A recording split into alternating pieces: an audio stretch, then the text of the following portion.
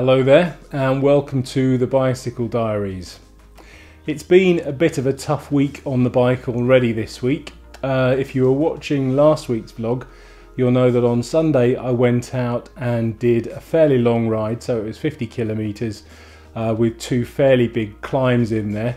And although I tried to keep my heart rate down between 70 and 80% of my maximum, um, it was still pretty tough. Basically, my legs got fried on both of the climbs.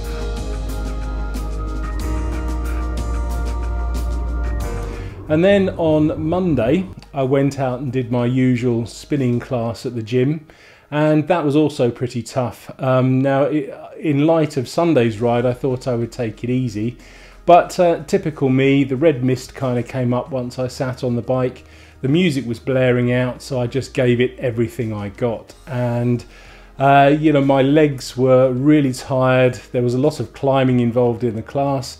My heart rate was up about 80, 85%, and it was pretty tough.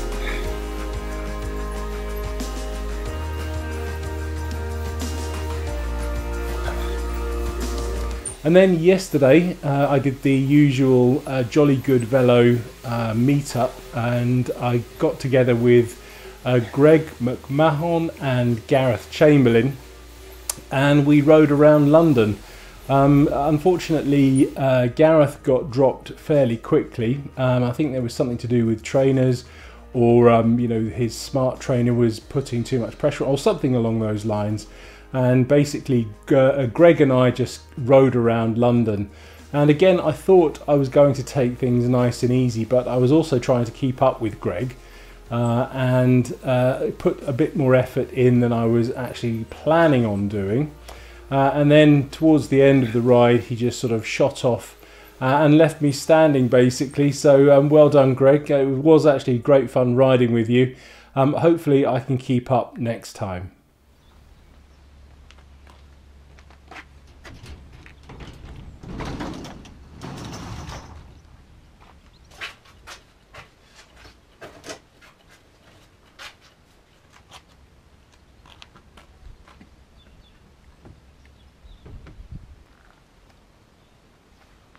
As you can see it's an absolutely stunning day here today so um, I can't resist it so I'm just going to go out and do a quick 30k ride on the bike.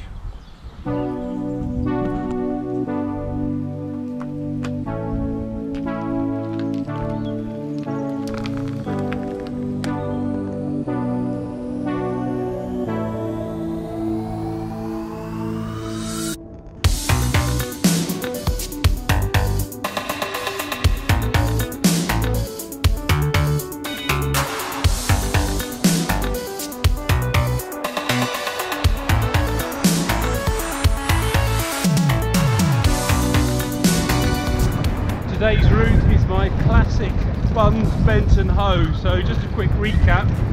That's uh, that's a 30 kilometre route. Uh, a couple of climbs in there uh, with about 300 metres of climbing all told I would say. Um, as you can see the weather is absolutely fantastic.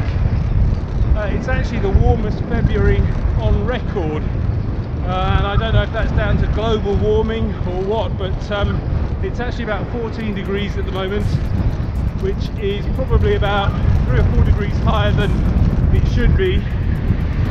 Uh, but there's no complaints from me. I'm absolutely loving it because it means I can get out uh, and ride the bike in this glorious weather.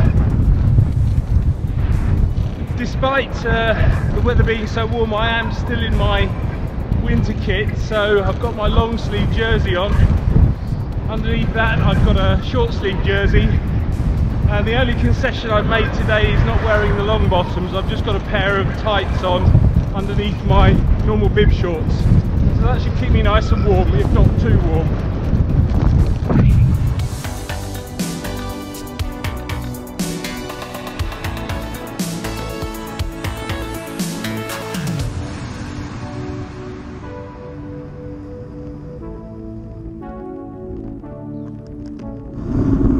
Went out on Sunday, uh, I saw loads of people out in short kits, so short shorts and short sleeve jerseys. And although the weather is uh, so warm today, I could probably get away with short shorts. I don't think I'm brave enough to go short sleeved jersey just yet.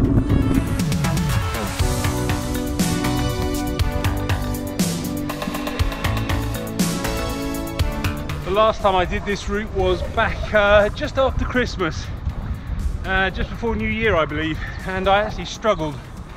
Had a bit of the bonk, um, and I decided to cut it short. But today I'm feeling pretty good despite having tired legs. Uh, yeah, uh, it's all going well.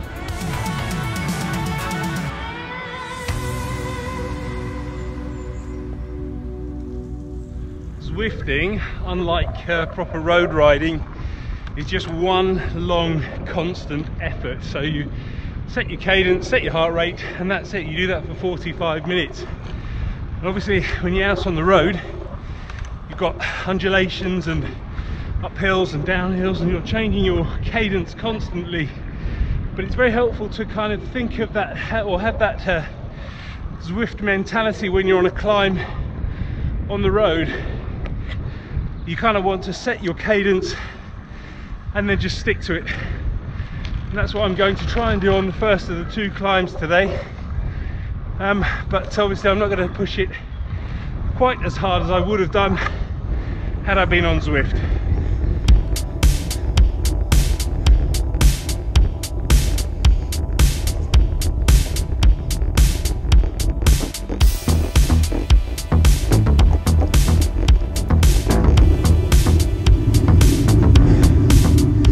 Also helps to regulate your breathing.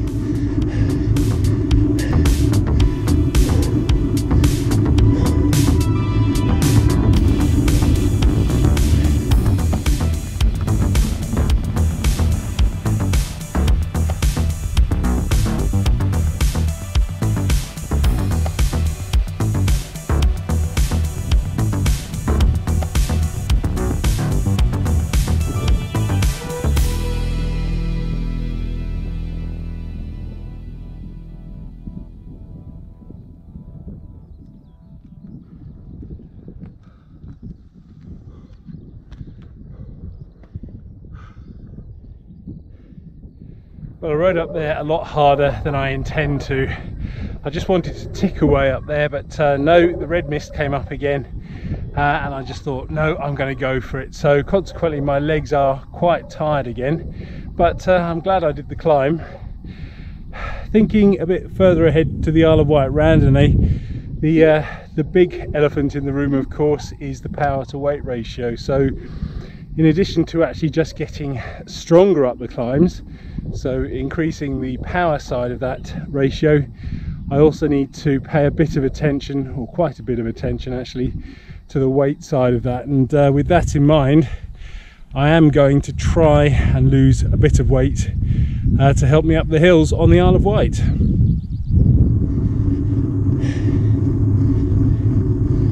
Just about to do the climb up to the Bat and Ball from the village of Hambledon. About three kilometers average gradient of about four percent. Uh, I can't see me doing it particularly fast today but uh, I have got this climb in its entirety on the channel and I think I even PR'd that day so you can look that up and watch me climb it in real time and do it quite fast as well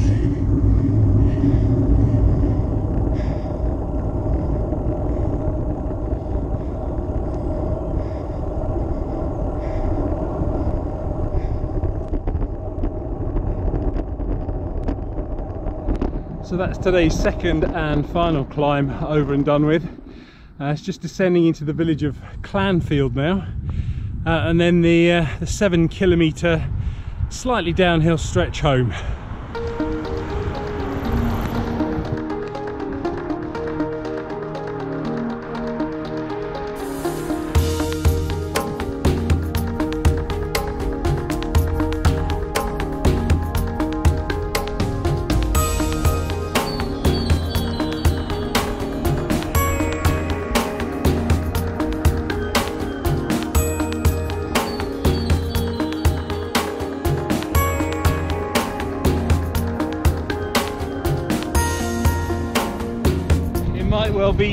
Downhill for seven kilometres, but of course the wind is against me.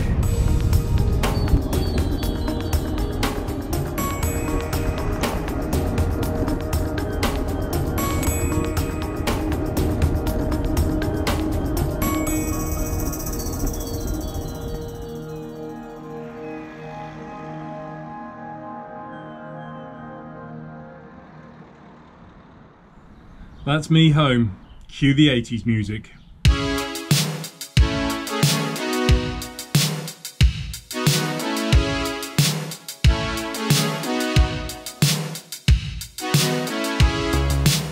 With this being my final vlog for February, let's just go over a few numbers.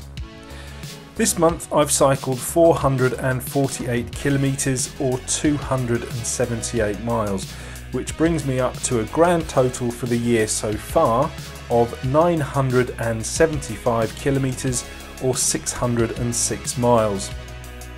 Let's see what March brings. Hopefully it's on to bigger and better things.